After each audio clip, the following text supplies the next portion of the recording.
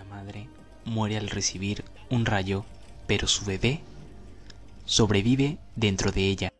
El padre, al ver que el niño es albino, lo rechaza y lo abandona. El niño siente lo que el padre dijo manifestándolo en un electroencefalógrafo.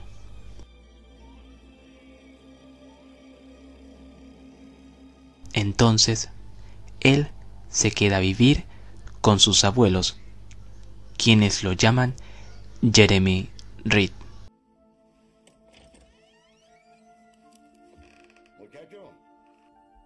Al pasar los años, los abuelos de Powder mueren.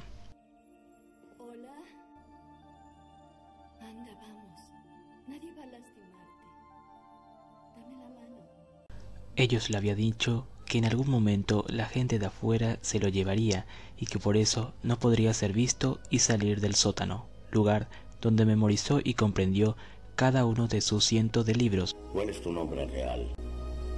Jeremy Reed. Mi abuelo dijo que algún día él moriría y que vendría la gente. Me verían y querrían llevarme de aquí. ¿Has leído todos estos libros?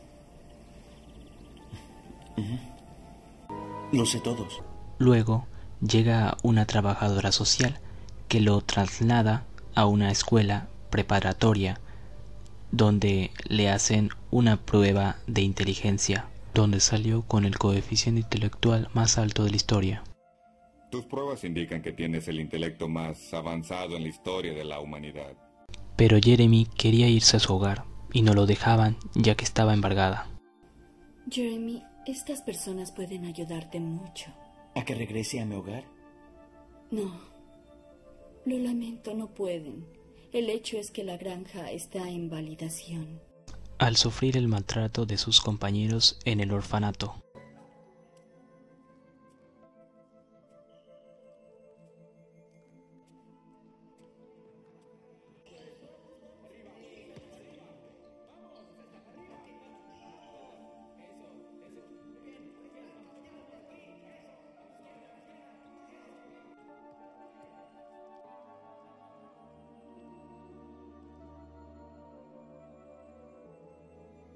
no le tomas una foto? Esto te parece un genio, a mí me parece un estúpido mariposón.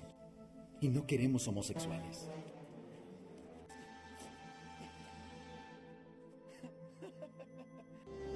Necesita algo de color. ¿No lo creen, muchachos? Claro que lo necesitas.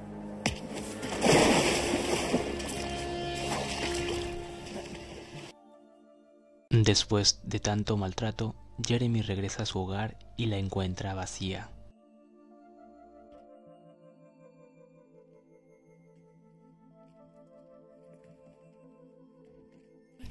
Jeremy comprende que lo que desea en ese momento es ser libre. Necesito un par de patrullas aquí en la granja Reed.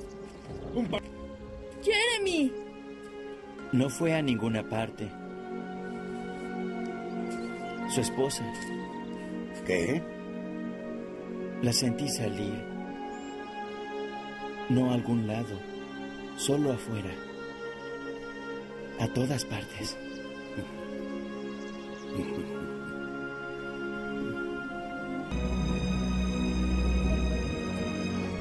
Corre bajo una tormenta eléctrica hasta que un rayo le cae encima y desaparece, formando parte de esa energía que nos une unos con otros, a todos los seres vivos.